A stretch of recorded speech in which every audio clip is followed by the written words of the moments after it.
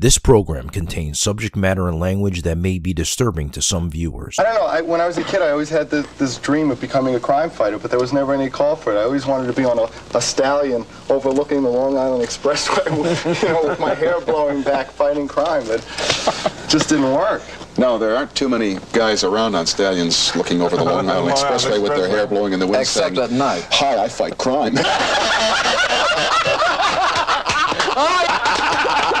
Viewer discretion is advised. Shmackemagob. Ace Frehley rules.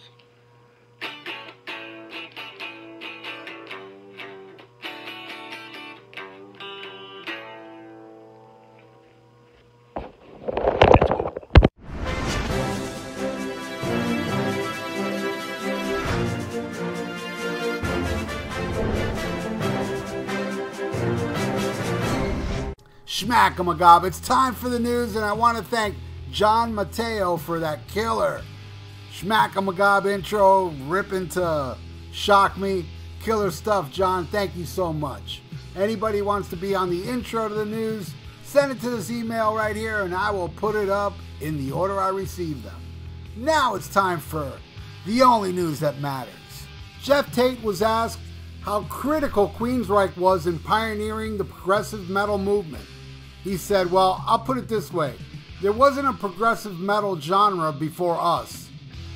Well, in my opinion, and don't get me wrong, I love me some early Queensryche, and yes, they were pioneers in that movement. But Rush is not really known as a metal band because of the twists and turns they did in the 80s with the keyboards. But man, well into that early Rush. Songs like Cygnus X1 and 2112. It's just as heavy and metal as anything Queensryche did. My favorite Queensryche song is Roads to Madness, which is very progressive and it has elements of metal. But so did Cygnus X1, Necromancer. I mean, there's a lot of early Rush stuff that was, man. When I was a kid, that shit was called metal.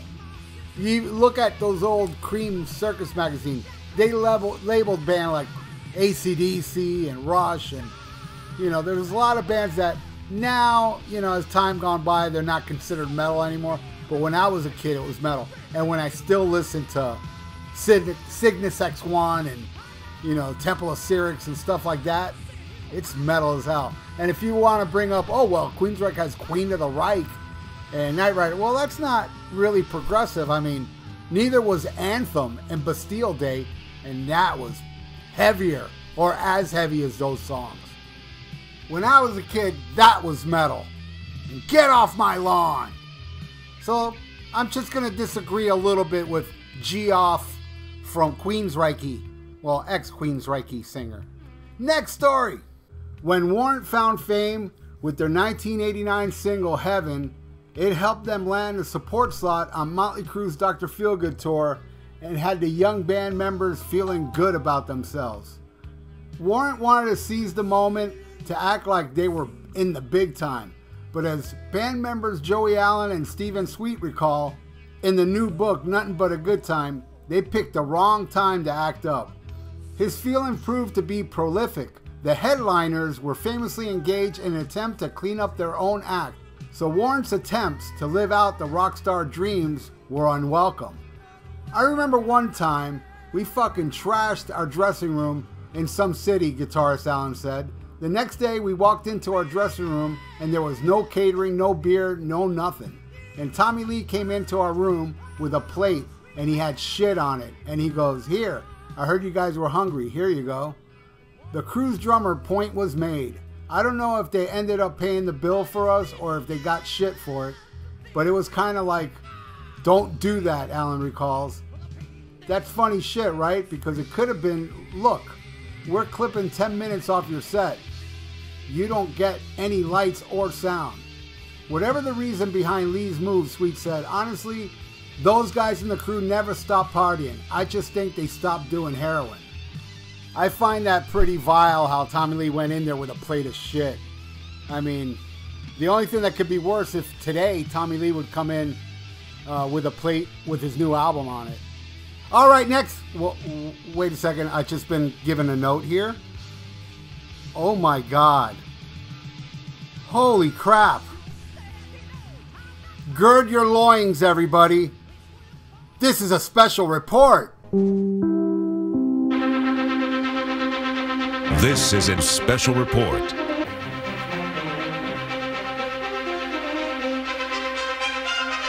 This just in. All you Kiss tards out there that get upset with me talking about Paul Stanley of Kiss, saying that I'm not a Kiss fan and that they're part of the army and you better stop talking about Paul. This lady here just found your binky. This has been a special report. All right, next story. Paul Stanley of Kiss is still a hypocrite and his voice is shot. How do you like those apples, you kiss tards? Next story.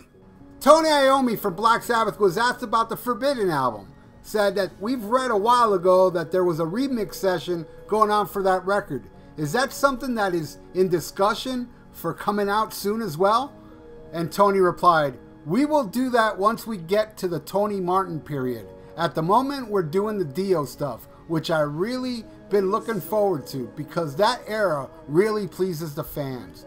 It's unfortunate that over the years, Tony Martin has been buried in all this Ozzy and Dio stuff and everything. There will be a period now where we'll be able to release a box set with the Tony Martin albums with some good outtakes as well. I've already mixed it here at home, so that's all ready to go. But we have to wait until the time is right we can't put all these things out together. It would cause confusion. And to be honest, I got boxes and boxes of stuff that probably never been heard. Even I can't remember it all. It's just a matter of rolling through it and finding it all. That's amazing news. I am a huge Tony Martin era fan of Sabbath, and I'm not alone. Yeah, I know there's people that don't like it, but man, there's many of us that love that stuff and I've owned forever all the Tony Martin stuff on CD that's been long out of print and costs a lot of money now. But to think that's all coming out on vinyl and a box set, awesome. And I've already seen a lot of rumblings like, oh my God, I can't wait, I can't wait. Well, you're going to have to wait. You know, this is going to take a while, people. It'll be many years before we see that Tony Martin era box set. But boy, when it's there, I'll be getting it. I'm first day buyer. I'm first day pre order. Can't wait. Awesome news. All right, next story. In a recent interview with Elton John, he said, I've done something with Metallica. During this lockdown period, I've been working with a lot of bands virtually like the Gorillaz and people like that. I haven't been doing any Elton stuff, but I've been doing great stuff with other people. It's not clear what project with Metallica Elton was referring to, but earlier this year, Miley Cyrus said her upcoming Metallica covers album will feature Elton John playing piano on her version of Nothing Else Matters. Um, wow. so far, I haven't liked anything Metallica has done where, they, you know, when he's they've collaborated with Lady Gaga or uh, Lou Reed and all that stuff. So you know, uh, but I am not the type to judge something before it comes out, like many people do. Check the comments below. I'll wait to hear it to pass judgment on it. But I love Elton John, and I love Hardwired in the first three Metallica albums, so. But the jury's out till it comes out. Next story Wolfgang Van Halen released two more new songs for his next album. Now, the first song he released, uh, Distance, about his dad, well, he wrote it while his dad was alive, but, you know, then he dedicated it to his dad. Wasn't a, really a fan of it, but I love the sentiment and I loved even more how so many people loved it. Then the next song he released, I didn't like either. I did like the guitar solo, was cool. Well, now he released two more. So I clicked on the first song and I was like, oh, this ain't good. Then the second one, which he made a video for where, you know, he plays every instrument. So the video has Wolfgang playing drums, bass, guitars, and singing all together. I was blown away how much I loved it. I thought it was awesome. And a lot of people do too. Yeah, of course, I saw some criticism, but I loved it. I thought it was a great, great song, and I love the video. And, you know, of course, there's people out there that are going to make fun of his weight. Not me. I'm like, man, I like him chubby. Stay that way. Who cares? I don't care. I got two words for Wolfgang Van Halen manja manja. Next story. Tomorrow, here on the Almost Human channel, I will be interviewing Damien, who is the creator of Inside the Casbah. And we will be talking about that, and also we'll be talking about this threatening message I got yesterday where somebody is threatening to sue me if I put this up. It'll all be talked about tomorrow. And tomorrow, you can also see the Inside the Casbah 2020 revamp where I narrate it. So tune in tomorrow and check out what Damien has to say about this whole mess and the Inside the Casbah and all the things he has to do with it. All right, let's go into the final story. According to Dateline, Sharon Osbourne is exiting the CBS show The Talk following her emotional defense of pal Piers Morgan's criticism of Meghan Markle. After completing an internal probe into the situation, the network released a statement saying that Osbourne decided herself to depart the show. The statement reads The event of the March 10th broadcast were upsetting to everyone involved, including the audience watching at home. As part of our review, we conclude that Sharon's behavior toward her co host during the March 10 episode did not align with our values for a respectable workplace. We also did not find any evidence that CBS executives orchestrated the decision of blindsiding any of the hosts. At the same time, we acknowledge the network and studio teams, as well as the showrunners, are accountable for what happened during the broadcast, as it was clear the co hosts were not properly prepared by the staff for a complex and sensitive discussion involving race. So this wicked witch of Oz buckled under the pressure and left the show instead of fighting it. And she's known as such a tough woman. She's been served with a cold plate of karma. All right, my friends, that's it for the news this week. Hey, check out my podcast, Viera Vault, and the Rock and Metal Combat Podcast. Yes, I'm back on the Rock and Metal Combat Podcast. And if you'd like to donate, I got a PayPal below. And please subscribe to my channel if you want to live. Stay frosty, my friends, and schmack 'em a gob. The news this week was brought to you by Inside the Casbah 2020 that will premiere tomorrow on YouTube. And I'm going to have tomorrow here on the Almost Human channel interview with the creator of Inside the Casbah, Damien Vivonis.